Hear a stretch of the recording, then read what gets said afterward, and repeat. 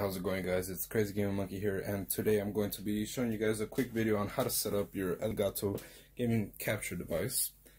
And all you pretty much need is just the stuff that came into the box. You need your laptop and you need to have the Elgato software downloaded already. Of course you're going to need your game console and all you need to simply do is have your game console HDMI connect in here. So let me go ahead and connect that. Okay. And then you go ahead and connect the other end to your console.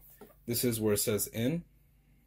So pretty much this is where the video is going in. And then on this side you're going to want to connect the HDMI that goes to your TV so really quick I have that over here and then where it says out, that's where it goes to the TV. Mm -hmm. All right, there you go. That's probably backwards. One second. There you go. Okay. So this is to the TV, out is to the TV, and is from the Xbox, PlayStation, or whatever game console you are playing on. You go ahead and connect this HDMI to your console and then you get the USB Type-C cable. Plug that in here. Doesn't matter which direction. Then you get that USB.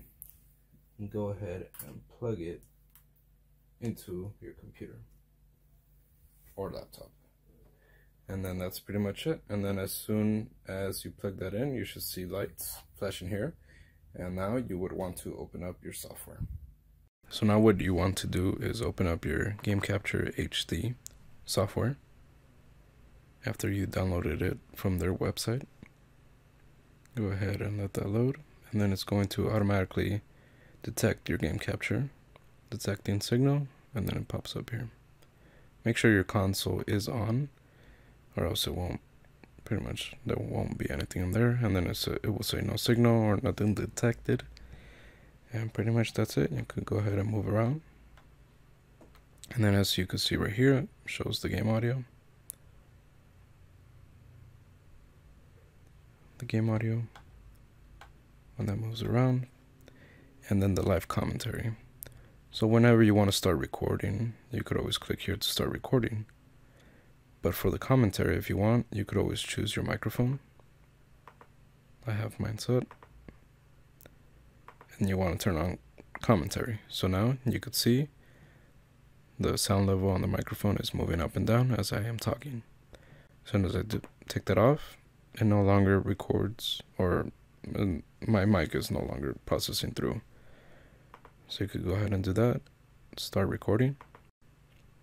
Hey, how's it going guys? It's Crazy Game Monkey here, and today we're going to be playing Xbox Game Pass. And as you can see it automatically zoomed in. So that's a nice feature. You could always go ahead and stop.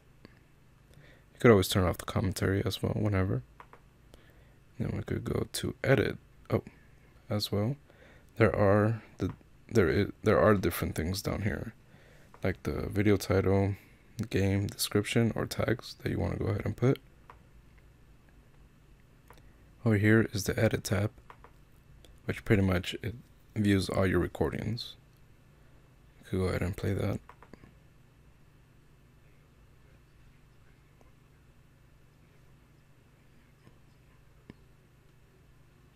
Nice. And then you could also, you also have the option to share here. You have a little bit of um, features that you're able to edit here and there. And yeah, that's pretty much it.